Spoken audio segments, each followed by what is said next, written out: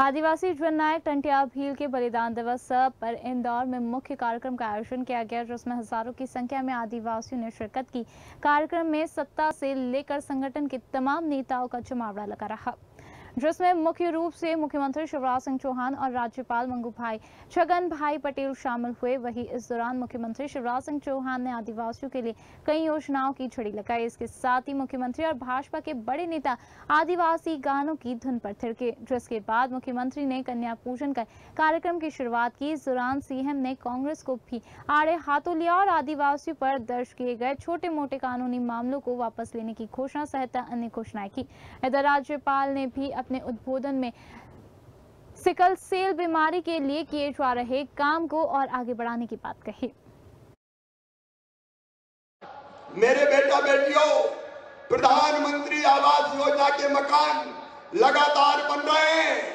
कोई गरीब और आदिवासी आने वाले चार साल में बिना मकान के नहीं रहेगा।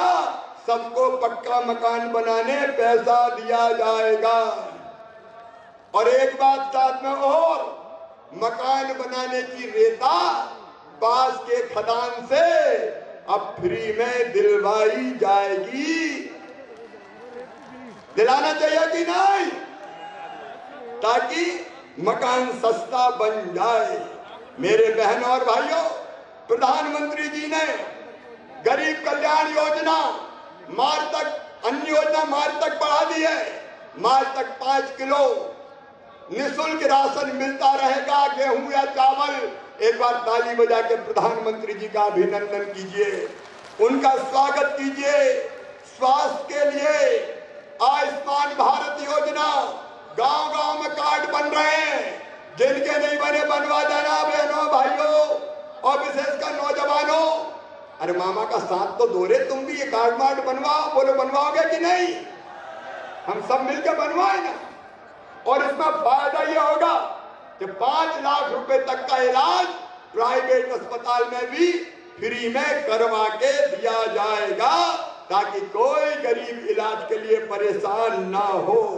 प्रधानमंत्री मोदी जी का सबका साथ, सबका विश्वास, प्रयत्न और सबका विकास के साथ देश को मज़बूत बनाने के लिए जनजातीय समाज की शिक्षा सेहत और काम धंधे में मदद के साथ उनके हक और सर्वांगी विकास के लिए दिन रात कार्य कर रहे हैं।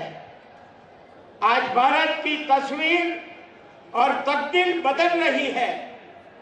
प्रधानमंत्री आवास योजना, गरीब कल्याण योजना, आयुष्मान योजना, उज्ज्वला योजना, जल जीवन मिशन स्वच्छ भारत योजना, किसान सम्मान निधि योजना, अटल पेंशन योजना, सुकन्या समुद्धि योजना,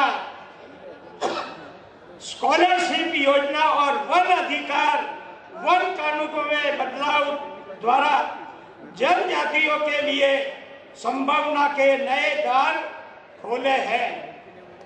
इतना बड़ा जनजाति समूह यहाँ इकट्ठा हुआ है।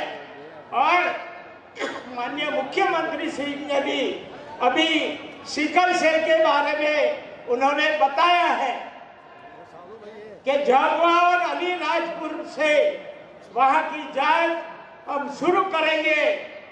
मैं आप सबको कहना चाहता हूँ कि सिकल सेल एनीमिया रोग ऐसा जानलेवा रोग है जो बहुत सारे रोगों के, रोगों का कारण होता है। सरकार इसका उन्मूलन करने के लिए अभी अभियान जो चला रही है, उसको भी आप सब उसमें जागरूक रहकर जाँच करवाए, ऐसी मेरी अपेक्षा है।